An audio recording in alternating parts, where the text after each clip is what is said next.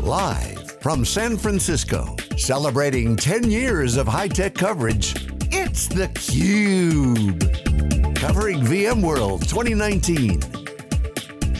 Brought to you by VMware and its ecosystem partners. Hello and welcome back everyone to theCUBE's live coverage here in San Francisco, California. I'm John Furrier, Dave Vellante. VMworld 2019 coverage. Dave, 10 years of CUBE coverage. We've been, yep. started out 10 years ago. VMworld's the last show standing. Our next guest is Todd Forsythe, CMO of Veritas. Great to see you. First time on theCUBE, thanks It is, on. inaugural. After 25 years in the industry, it's crazy. With your, with your talent, I think we're going to have a good segment here. I'm sure, I'm sure we will. Entertaining. No, seriously, we've, we've known each other. We're on an advisory board together. You're a prolific uh, marketer. You do a lot of great things. You're progressive. You try new things uh, with startups, but also you got to run a big operation. That's right. Um, Martech stacks. You like to look at platforms. This is a replatforming of the internet we're seeing with Cloud 2.0, and I want to get your thoughts on this because you got a unique perspective at Veritas, you know, an, an older brand, modernized right. in real time, right. new products, refresh, in a massively changing growth, still growth market. It's a Absolutely. data, it's a data business. That's right, 100%. So what's your take on this? As you look at the landscape, you got the modern brand, you got to take it out there, new products. You know, it's interesting. I had a, uh, a really fascinating conversation yesterday with a customer. And the, the customer said, you know, I, I was walking through the expo hall and I saw Amazon, I saw Microsoft, I saw IBM, I saw Dell Technologies, I saw Kubernetes, I saw Pure, I saw Nutanix. I thought I was in my own data center. and it's interesting, you say, I think about our business, and in, in our business, data doesn't care. Like, you know, data doesn't care if you're running a modern architecture. Data doesn't care if you're running legacy. So what we're really focused on is helping companies manage data in highly complex and extremely demanding environments, regardless of their infrastructure. And Cloud 2.0 speaks to the complexity of that because you know, these, and we were talking earlier with um, VMware about these categories that used to exist, these Gartner Magic Quadrants. You know, you can't put something that's a silo and not, not a silo in a silo. If you're horizontally disrupting, uh, and data does that. Data has to move around, it's and it's got to move everywhere. So there's no more silo boxes of categories. 100% agree. You know, it's interesting. We we launched uh, enterprise data services earlier this year, and that was the precise reason why. Because we've relooked at what data protection is. Data protection is no longer backing up your data from a cloud to a cloud from your on-prem, it's a much broader category. It, it, it, covers how your data becomes available, how resilient you are, uh, understanding where your data is, how it's categorized so you can respond to ransomware attacks, manage regulations around the world. So our view of data protection is a platform that is horizontal and cuts across. Well, and you guys have, I mean, the, the heritage of Veritas was the, original data management company, right? Yeah. With no hardware agenda and and, and so uh, my question for you, Todd, is what attracted you to Veritas? Ah, it, uh, softball question. So the most amazing customers any company could possibly imagine, Global 2000, the top telecommunications companies, the top banks, top stock exchanges. Secondly, a product strategy that's really zoned in, back to your point about this, a platform that cuts across all of these diverse technologies and solves problems for customers. It abstracts them from the complex environments that they're in so they could focus on outcomes. And Greg has done an amazing job recruiting a top-notch leadership team. So, so it was really great product, good, good, good leaders. Okay, now follow up is you guys, you know, number one, uh, you know, top anyway, right in the Gartner Magic Quadrant, everybody wants a piece of your hide. the whole, whole industry's coming at you. So what's the sort of messaging, strategy to keep top spot from both you know, outward facing and also sure, product sure. development? So, so we look at two types of competitors. Uh, competitors that are offering point solutions, predominantly playing in the mid-market, and when you're a large financial institution and you have a highly complex environment, you are in a multi-cloud world, uh, you can't afford to have a siloed backup data. So you need to understand how your data is classified, where it's stored. So if you're responding to ransomware, and that ransomware attack is targeted to a specific server, you need to know if you have PII there or if you have cat pictures there. If you have cat pictures there, then Let them have it. let them have it, exactly. so our platform cuts across protection, availability, and insights, which categorizes your data. So the data gets categorized in NetBackup, extends to the analytics platform so you know where your data is, and you could take action on your data. The, the hard question, Dave, since the softball, I'll give you a hard one. You got to refresh the brand. Uh, Veritas has got a lot of pros and cons. The pros are, you know, well known, a lot of customers. Um, I got a customer question later, but the brand is important because you have the new modern platform products, Yeah. platform and products. Yeah. You got to get the name Veritas has old meaning. You have a lot of older customers. You have legacy customers. How are you going to go out there and, and, and refresh? What's the what's the? Is there any new plans there? Uh, we have a, a ton of plans. You know, it, we we have the product, we have the customers. The, the the product, the platform product is is amazing. We are a quiet company, so we need to be noisier in the marketplace, and we need to insert ourselves into relevant conversations that are top of mind with CEOs and CIOs, whether it's ransomware. If you look at all of the ransomware a attacks, I read like two weeks ago in the state of Texas, there were uh, 10, 15 municipalities that were attacked At the same time. at the same time. Yeah. And we have a solution that can help customers recover from ransomware. So we have to insert ourselves in those dialogue because dialogues because we have a very very specific point of view that can help customers. Well, but to John's point, right? Everybody who you compete with can, will say, we have a solution that you know helps solve ransomware. So how do you separate from the pack? Like I said, everybody's trying to take pick Sure, you off. sure. Uh, we want a piece of that install base, right? You got to keep the install base and you got to keep growing, right? So I'll, I'll lay down the gauntlet. Uh, I would it. love I would love any competitor to showcase how they can support 500 workloads, 150 storage targets, 60 cloud providers at enterprise scale with a high degree of reliability.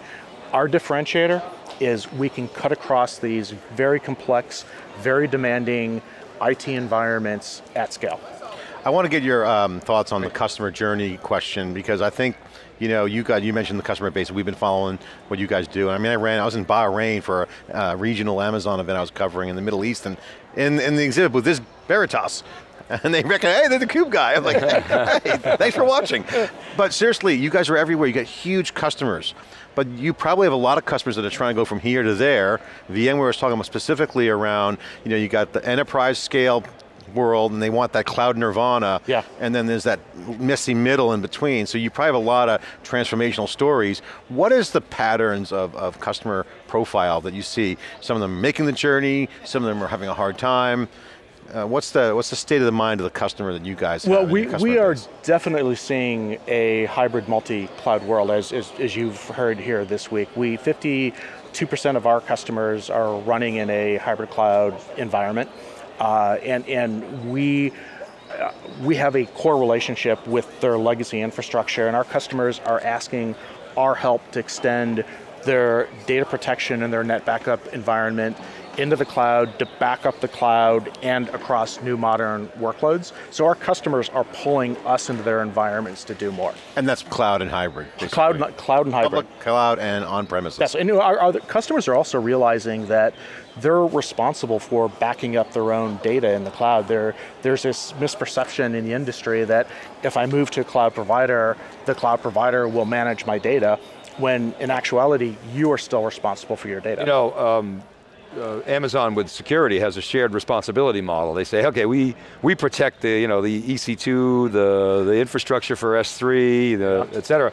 You're responsible for pretty much everything else, and I think that you could draft off that message. yeah. You guys, two couple years ago, had a, a, a great event called Veritas Vision, um, where everybody came in, and then you, you changed that. Now you sort of go to where the customers are, and I'm wondering, how's that working? Uh, it, was, it predated you, so Yeah. I won't Yeah, ask yeah, you yeah, why that yeah. decision was made, but you know, uh, what, how's it working out? I mean, a company like yours, it was like four or 5,000 people there. It was a So, really good it- a, a great question and, and a highly relevant question because we're just about to launch our series. So, you know, having run large, large large user conferences, and you look at distribution of your customers, and you know you typically find that 80% of your customers are coming from the U.S.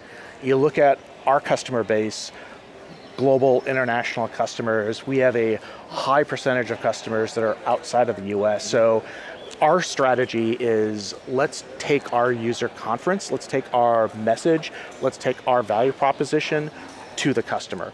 So we are kicking off next month uh, an entire series around the world, Germany, Paris, uh, Rome, Seoul, Bali, Singapore, Melbourne, our vision series where it's our anti-user conference. We're, we're taking content directly to our customers. Are those regional or those cities based? How is it segmented? Like Amazon, City-based. so it's like Amazon Summit kind of thing. You go to. Yeah, yep.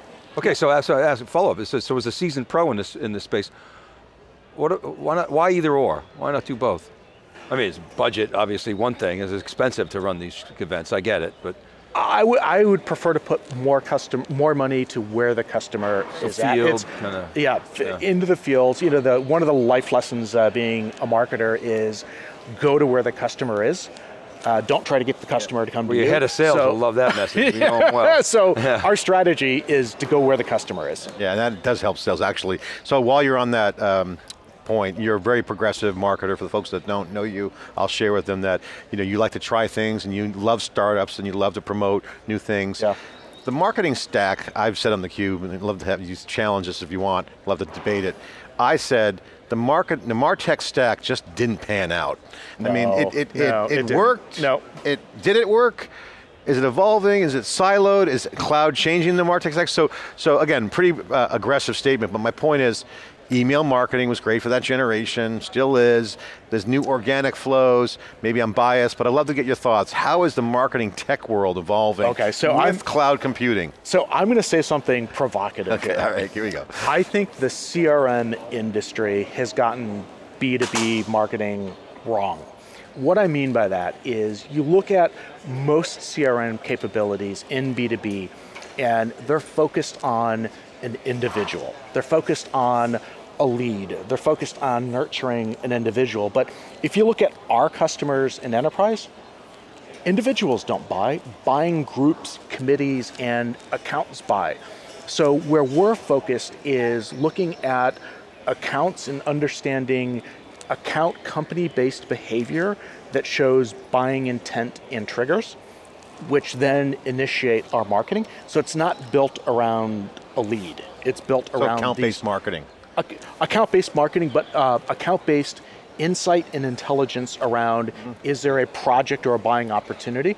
And you know, our good friends at uh, at Mintigo, uh, that's what they do, which is AI-driven trigger-based marketing, and that's where I think the industry is going. What's your thoughts on organic marketing? Because one of the things that's hot, and certainly we live this world with the Cube, and we've been kind of pioneering Yeah. this new model where co-creating content together and pushing it out into these digital streams is an organic process. It's technically earned media and PR parlance, but we're seeing the, uh, the evolution of the, the CMO-like uh, action around storytelling, right? And so like, Yeah.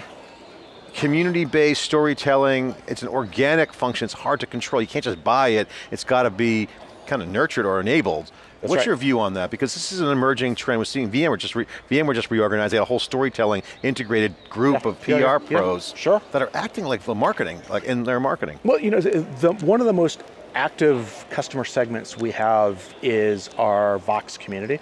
And if you think to your point about co-creation of content uh, in collaboration, our Vox community collaborates on solving problems that customers have. They collaborate. Can you take a minute and explain what is Vox community? Vox is a community of our technical users where they help each other share best practices and solve problems. A lot of how-to. A lot of how to. Not Vox Yeah, Media. not Vox Media, correct. correct. Just make, yeah. sure to get that out there. But- forums, there's is, this videos. your, is this your community or is it a third party? Okay, it's a Veritas community, yeah.